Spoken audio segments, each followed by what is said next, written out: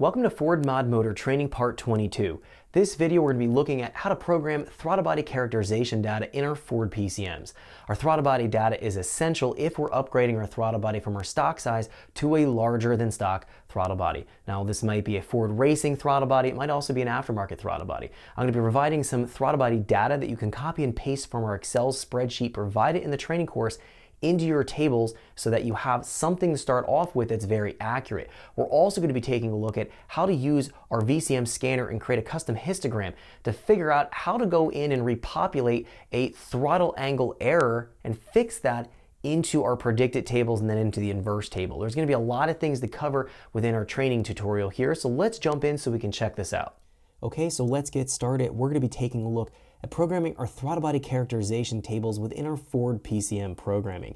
This is going to be an absolute necessity if you've changed your throttle body from stock to an aftermarket or a larger than stock throttle body size. Now, if you have a stock throttle body, this video really isn't to pertain to your application. You can watch it and definitely follow along with what we're talking about, but you're going to find you're not going to have to go through uh, either changing your throttle body data or going through and logging and making sure you use the histogram to update your predictive throttle angle table as we're going to be finding within the video here. So let's open up a calibration file so we can start to dissect the tables that we need to look at in our throttle body characterization programming. We're going to go in here and open up a file, so file open. And let's go here to a stock 2005 Mustang file. Let's click open here. Now we're going to go into our engine tab and then under general we're going to move across to airflow and then under airflow we'll go here from general into electric throttle. Within here we're going to be focusing our efforts and our attention into the predicted throttle angle and effective area. Now, we haven't talked about this yet within the training course, but this is going to be something that we have going on in the background as far as our airflow and torque modeling. Now, the, uh, the airflow model we know is going to be coming from our mass airflow sensor and or our speed density calculations. It's going to be figuring out what the load registration is going to be, uh, what the mass airflow that's being ingested in the engine is going to be. All of that can be used to figure out what the torque production is out of the engine. If we know what our airflow is going to be and we know what our spark timing is going to be, there's going to be modeling in the PCM that can actually determine what the engine torque is, and we'll find it's relatively accurate. So in the situation where we're looking at our torque model, we're going to be indexing what we want our throttle body or the drive-by-wire throttle body to open at based on a torque request. Now, we're going to be looking at and uh, taking a look at torque modeling in the next video.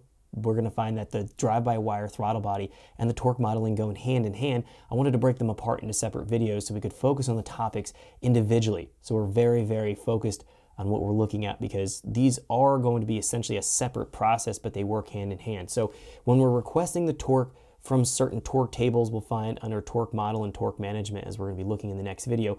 It's going to be looking up in our tables what the throttle plate opening should be based on the throttle body size that we're dealing with. So if we have a larger than stock throttle body size, we're going to have a larger effective area of our throttle plate, meaning we have more surface area and as we're tipping our throttle open using our drive-by-wire throttle control, we're going to have different amounts of airflow being ingested into our engine based on that effective area of the throttle plate size difference. So when we put a larger than stock throttle body size on the engine and we're trying to follow along with a torque request with the PCM, it's imperative that we have our drive-by-wire throttle control dialed in right so that when we're expecting a certain amount of torque, we're receiving that amount of torque within a certain margin of error and that the torque and the airflow model are going to follow in line. And that's going to keep the PCM happy. That's how Ford calibrated everything.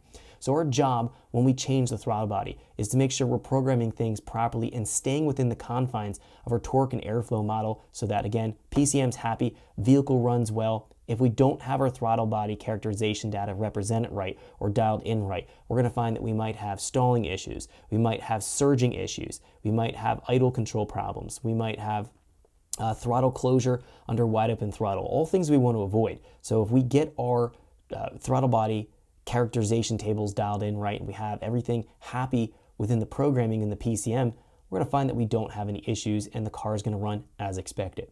So now that we've kind of gotten out of the way and talked about the general idea of what, what is going on with uh, programming our throttle body data, and meaning that we're to be translating what that amount of throttle plate opening versus airflow is going to be so the PCM is going to control things right.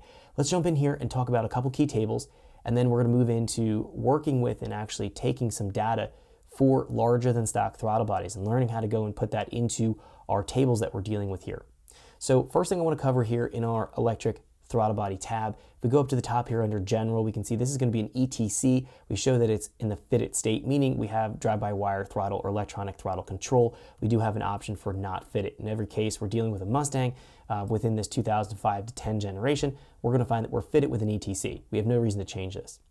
Now we also have down below this limits, throttle angle max, throttle angle min. This is the min and max limits within the control. We find down below that we have a max throttle angle versus RPM table. This is engine speed on the side versus the maximum throttle angle we're gonna allow Thanks for checking out our teaser clip. If you want to see the rest of this video and more than 500 hours of current EFI training we have to offer, make sure you click right here. If you want to go and check out more teaser clips from this training course, click here. And you don't want to miss any of the videos we're going to be releasing on this channel, so make sure you subscribe and click here.